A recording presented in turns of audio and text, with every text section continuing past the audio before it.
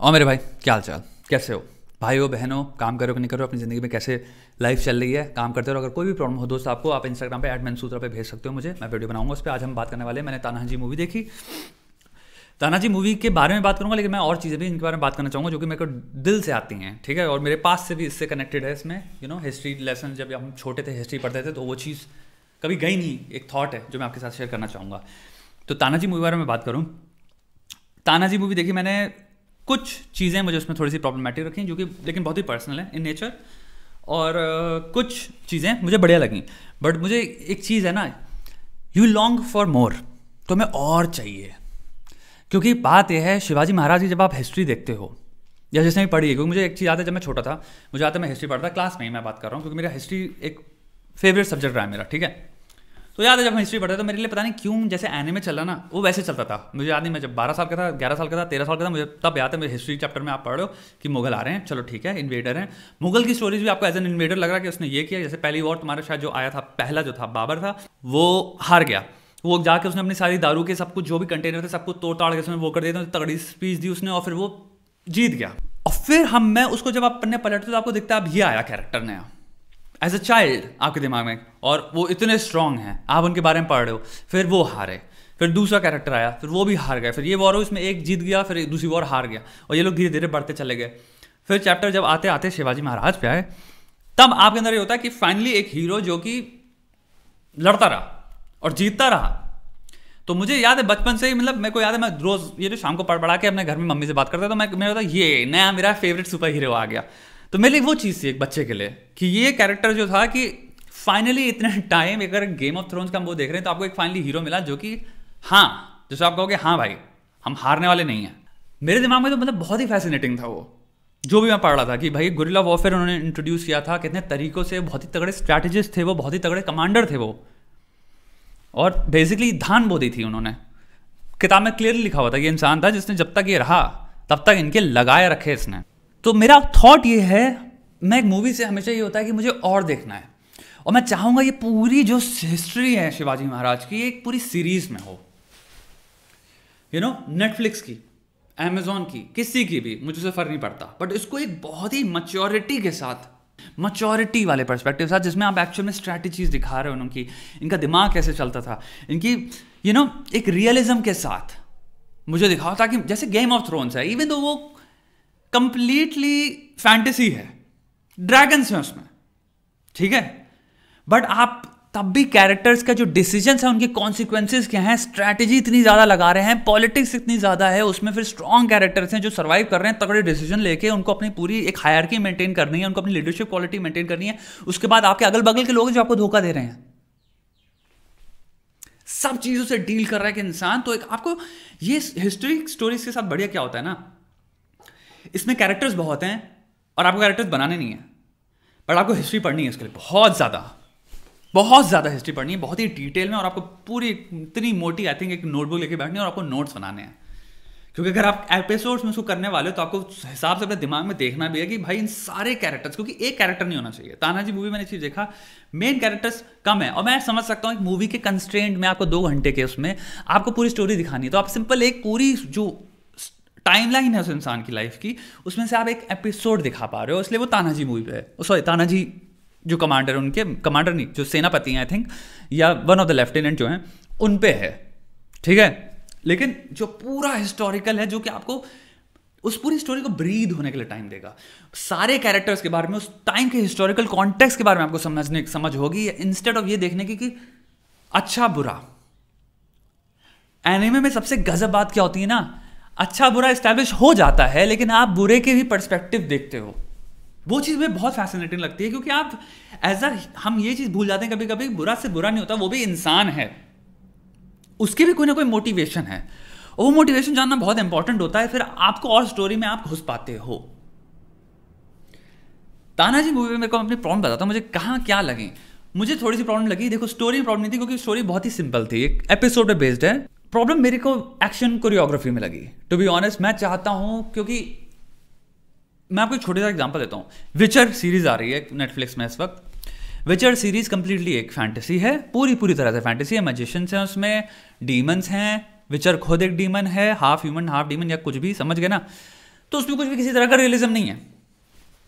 लेकिन जब मैंने उस मूवी का पहला फाइट सीन देखा तो मैं हेनरी कैवल जो मूवी में जो सुपरमैन था, अब वो विचर प्ले कर रहा है, उस मूवी में वो जो तलवार भी उठा रखी है ना, उसका वेट महसूस कर पा रहा हूँ। और ये मेरे लिए बहुत मज़ा, मेरे को वो वो चीज़ इतनी अच्छी लगती है ना देखने में, कि मुझे आप बेवकूफ़ की तरह ट्रीट नहीं कर रहे। जब सिनेमा या जिसने भी, जिसका भी विजन है डायरेक्टर का, वो चाहता है कि आपको हम जितना within the context of fiction within the context of obviously ये सब, हमें पता है एक्टिंग हो रही है, हमें पता है भैया एक्शन कोरियोग्राफी है। लेकिन हम आपको बेवकूफ़ तरह ट्रीट नहीं करेंगे, हम आपको जो सिमुलेशन देंगे या जो सेम्बलेंस होगा उसका, वो आपको जितनी एक रियल फाइट हो सकती है, एक बहुत ही स्किल्ड इंसान की, उस, उतनी एक्यूरेसी आपको उसमें हम प्रोवाइड करके देंगे। दैट ट्रीट्स दैट ट्रीटमेंट जो कि एक मच्योर ऑडियंस का आप देते हो, वो बहुत ही, मैं अप्रिशिएट करता हूँ एटलीस्ट उस सीन को मैं सीरियसली कहूँगा विचर के जो एक्शन सीन्स हैं ह्यूमंस के बीच में, मुझे बहुत बढ़िया लगे। That is the only one thing जो कि शो को देख के मैंने I I really gravitated toward मुझे स्टोरी टू बी ऑनेस्ट मुझे इतनी अच्छी नहीं लगी और मुझे, मैं शायद सेकंड सीज़न देखूँ भी ना। बट एक्शन उसका, क्योंकि आई थिंक मेरा भाई, मैंने बात अपने भाई को बताई, मेरा भाई बता रहा था, उसने शायद इंटरव्यू भी देखा होगा हेनरी कैवल का, उसमें वो बता भी रहा है कि तलवार इतनी भारी थी। क्योंकि वो मोमेंटम जब एक तलवार आप घुमा रहे हो, मुझे फील हो रहा है कि उसको वापस लाने में, क्योंकि वो चीज़ अब घूम गई है तो वो वहाँ तक जाएगी। वो छोटी छोटी चीज़ फील हो रही है मुझे कि तलवार इतनी भारी है और कितना मुश्किल है उसको चलाना और एक्शन सीन के रियल कॉन्सिक्वेंसेज क्या होते हैं कि सामने वाला भी गधा नहीं है? तो तानाजी मूवी से मैंने पहली चीज़ मेरी जो क्रेडिबिलिटी चली जाती है वो ये है जब भाई तानाजी सुपर वॉरियर है। I accept it I accept it ठीक है? द मोमेंट मैं देख रहा हूँ सामने जो इनकी उनकी लड़ाई होने वाली है, वो जैसे बस दौड़ता हुआ आके तलवार खाने के लिए आ रहा है। वो चीज़ पूरी आई थिंक एक्साइटमेंट ही छिन जाती है। मुझे ये प्रूव करने के ये सुपर वॉरियर हैं। वो चार लोगों को ऐसे करके काट देते हैं, उसमें मत दिखाओ मुझे। मुझे दिखाओ वो चार लोगों को कैसे डिफीट करते हैं। राइट एम एम ए में, मैं एम एम ए का बहुत बड़ा फ़ैन हूँ, दूसरी चीज़ आपको बताता हूँ। द रीज़न भैया हम हो रहे मासविदाल से लेके तुम्हारे इसराइल आदिसानिया से लेके तुम्हारे जॉन जोन्स ये जितने भी हैं, उनको हम क्यों पसंद करते हैं? माइक टाइसन को इंसान क्यों पसंद करता था? माइक टाइसन की अगर पुरानी तुम्हारे एट्टीज से लेकर नाइन्टीज नाइन्टी फाइव कितने के भी अगर तुम फाइट्स देख लो, क्यों उनके वीडियोज़ में टेन मिलियन के ऊपर हर एक में व्यू है?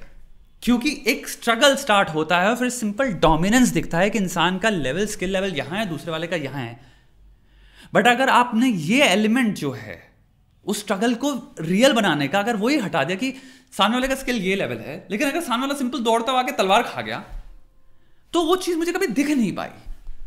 आप मुझे सेल करो कि तानाजी वॉरियर लेवल पे उनका स्किल ये है कि उनसे चार लोग भी अगर अकेले फाइट करें तो वो फाइट में जीत जाएँगे। He will overcome Game of Thrones का वो सीन याद आ गया मुझे, जिसमें वो फ्लैशबैक सीन होता है और तुम्हारा रॉबर्ट स्टार्क नेट स्टार्क जब यंग होता है अपनी बहन के किले से बचाने जा रहा था उसको पता है दो नाइट्स जो होते हैं, वो सबसे गजब नाइट्स थे। और स्टोरी टाइम से वो चल रही होती कि भैया, कि स्टार्क ने उनको ख़त्म कर दिया था। Robert Stark Edward Stark Ned Stark Edward Stark okay कि ही किल्ड देम ये एक बहुत बड़ा लेजेंड है उनके बारे में। और स्टोरी में जब वो बैक पे जाते हैं तो आपको दिख रहा है कि वो फाइट कर रहा है और एड स्टार्क है। के साथ उसके सेना में लोग जो हैं वो भी हैं।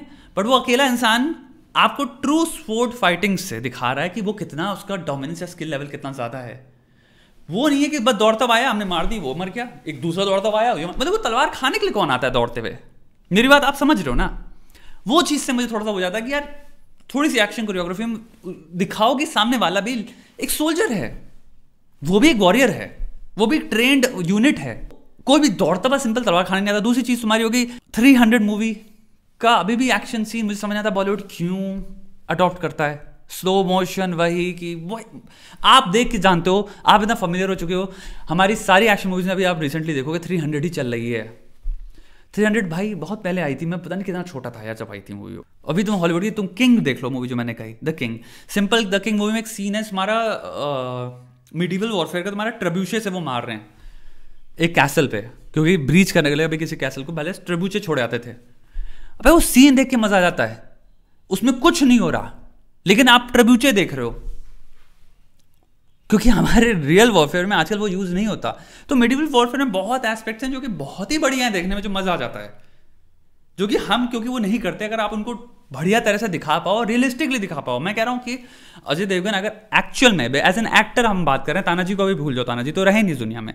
अगर हम अजय देवगन की बात करें, उसने अगर उस लेवल पे स्पोर्ट्स फाइटिंग सीखी होती कि उसने स्किल वो कैप्चर किया कि वो एक अच्छी कोरियोग्राफी में पार्ट कर पा रहा है हमें सेल कर पा रहा है और सामने वाला इसलिए घोंचू नहीं है कि वो बस दौड़ता आके उसको मरने की ज़रूरत है। वो भी थोड़ा कर पा रहा है तब वो चीज़ आती है कि भाई वो आप दिखाओ ना कि क्या स्विफ्टनेस है उनके एक्शंस में एजिलिटी कितनी बढ़िया है उनके मूव्स कितने क्लेवर हैं कितने क्रिएटिव हैं। फ़र्स्ट सीन में ही मेरा थोड़ा सा आई थिंक डिसबिलीफ आ गया था जब वो यू you नो know, एक घाटी से होते हुए जा रहे हैं और उनका एक कॉन्वॉय जा रहा है और उसमें चीज़ें हैं उनके पास और छोटा सा यू नो आर्मी वो कैवलरी जा रही है। यार अब किसी ने भी हल्की सी भी तुम्हारी मीडिवल हिस्ट्री या वॉरफेयर पढ़ा हुआ है तो आपको पता है कैवलरी सबसे स्ट्रॉन्गेस्ट यूनिट है सबसे स्ट्रॉन्गेस्ट यूनिट है जब एक प्लेन बैटल फ़ील्ड होती है तब। Cavalry one of the weakest units हैं। जब किसी भी घाटी या फॉरेस्ट के बीच में से होते आ रहे हैं, क्योंकि प्लेन फ़ील्ड नहीं है घोड़ों को चार्ज करने के लिए। तो वो आप कहोगे सिटिंग डक्स हैं उस मोमेंट में। तो आपको एक्चुअल में अगर कैवलरी जा रही है, अब जो भी अगर वॉरफेयर पढ़ना चाहे, आप प्लीज़ थोड़े से इसमें हो सकता है, बहुत सारे यूट्यूब चैनल भी आपको मिल जाएँगे कैवलरी को कैसे डिफीट किया जाए। ऐसे टाइम्स में आप सिंपल अगर आपके पास दस आर्चर हैं तो आप मैसेकर कर दोगे। आपको एक्चुअल में नीचे जाने की ज़रूरत ही नहीं है। अब यही बात मेरे आती है कि अगर आप सिंपल सी बात करो ताना की जो कि इतने ज़्यादा स्किल्ड अडेप्ट एक ल्यूटेनेंट थे। अगर आप शिवाजी महाराज की बात करो, ये जो जो वॉर हार्डन लोग होते हैं, वो उस टाइम की वॉर की बात करो जहाँ पे आपको स्ट्रेटेजिस्ट होना पड़ता था, आपको एक एक एलिमेंट देखना पड़ रहा है आपको जियोलॉजी देखनी जूलॉजी सॉरी आपको जियोग्राफी कंसिडर करनी पड़ी, आप किस लैंड पे हो, आपको टेम्परेचर स्टडी करना पड़ रहा है आपको क्लाइमेट स्टडी करना पड़ा, आपको वेदर उस दिन का क्या होने वाला है, वो स्टडी करना पड़ा, उसके पूरे बेसिस पे पूरी स्ट्रैटेजी बनती थी। पूरे आप लैंड को स्टडी करते थे, जाके स्काउट्स भेजते थे कि हम किस किस जगह पे कहाँ यूनिट को रख सकते हैं, किस जगह पे किस यूनिट का एडवांटेज ज़्यादा होगा, किसका कम होगा, ये प्लेन है, इसमें ये हम प्लेन में लड़ रहे हैं या इसमें ये तुम्हारा स्लोप्स हैं, क्या है? तो हम, मैं यहाँ पे ये करके बैठा हूँ कि भाई, ये इंसान को इस सब चीज़ें कंसिडर कर रहा है। वो इंसान कभी रस्सी से नीचे यू you नो know, उस स्टाइल से आते हुए चार्ज करेगा ही नहीं। और उस सीन से पहले क्या है उन्होंने आर्चर्स उनके पास हैं ग्रांटेड तो वो सीन मेरे बड़ा एक्साइटेड था कि मैंने कहा वाह एक हिस्टोरिकल पॉइंट ऑफ़ व्यू से क्या गजब मोमेंट है कि घाटी से होते हुए आ रही है और कैवलरी उसको प्रोटेक्ट करने के लिए है और कैवलरी अपने वीकेस्ट जगह पे है वो टोटली बुचर कर सकते हैं यहाँ पे कैवलरी को सिंपल आर्चरी से। और वो आर्चरी आर्चर्स हैं वहाँ पे वो वो फेंकते हैं एक मटका जिसमें से शायद मधुमक्खियाँ निकलती हैं बहुत सारी और समथिंग चलो ठीक है थिएट्रिकलिटी अंडरस्टैंड इस मूवी मधुमक्खियाँ काट रही हैं सबको। लेकिन फिर वो खुद क्यों आके वहाँ चले जाते जब उनको पता है इतनी सारी मधुमक्खियाँ हैं वहाँ पे तो वो चीज़ मुझे कंफ्यूज करी कि कोई भी खतरनाक वॉर हार्ड एंड इंसान जिसको पूरी स्ट्रैटेजी की नॉलेज है, अगर वो स्ट्रैटेजी ले रहा है तो वो खुद अपने आप को उसी जगह पे केओस की क्यों घुसेड़ देगा? जहाँ पे उसको पता है, कोई मक्खियाँ ऐसा थोड़ी कि हम शिवाजी महाराज की यू नो टीम्स हैं तो हम इनको नहीं काटेंगे। वो तो मक्खी है। तो वो मेरे को थोड़ा सा कन्फ्यूज़ किया। तो ये कुछ चीज़ें हैं यार। बाकी मैं सीरियसली चाहूँगा सीरियसली चाहूँगा शिवाजी पे कंसिडर करना चाहिए। हिस्टोरिकल पॉइंट ऑफ़ व्यू से पूरी सीरीज़ बनानी चाहिए इनको। और उसको मच्योर एक मच्योरिटी के साथ, एक बहुत ही मच्योर लोगों को मेरे ख्याल से बहुत ही मच्योर फ़िल्म मेकर्स को एक टास्क देना चाहिए, जिसमें आप थिएट्रिकलिटी को थोड़ा सा साइड में कर दो कि कितना गजब तरह से यू नो एक इंसान ये फाइट में ऐसे स्लो मोशन से मार रहा है, वो मार रहा है, उसको रखो। बट अगर आप स्टोरी को मच्योरिटी से ट्रीट करो कैरेक्टर्स को डेप्थ से ट्रीट करो, और अगर उसमें आप उस टाइम की पॉलिटिक्स उस टाइम का स्ट्रगल उस टाइम में कितनी स्ट्रैटेजी बढ़ानी पड़ती थी उनको, उनका पूरा विजन एक इंसान को कहाँ से वो अपने एम्पायर को कितना बड़ा करके ले गया, फिर वो बार बार एक चीज़ हार भी जा रहा फिर उसको वापस जीतना पड़ रहा है। इस सारी पॉलिटिक्स को मद्देनजर रखते हुए, उस टाइम के क्लाइमेट को, सब कुछ को कंसिडर करते हैं उनकी पर्सनैलिटी को तो मज़ा आ जाएगा। It can be one of the greatest series you know India that India has seen so I hope ये आइडिया यू नो लोग कंसिडर करते हैं। बाकी आपका व्यूज़ क्या था भाई? आप प्लीज़ शेयर करिए नीचे। आपको कैसी लगी मूवी आपके अगर आपको लगता है कुछ चीज़ें मैंने जो बोली हो सकता है वो नाजायज़ हों तो आप वो भी बता सकते हो मुझे। हम यहाँ पे कॉन्वर्सेशन कर रहे हैं दोस्त गुस्सा और दुखी होने की कोई ज़रूरत नहीं है। सिंपल कॉन्वर्सेशन है। दो भाई बातें कर रहे हैं, ठीक है? और हो सकता है बहन भी हो तो दो भाई बहन बातें कर रहे हैं। इसमें यू नो डिसएग्रीमेंट है। ऐसी कोई बात नहीं है। चल भाई।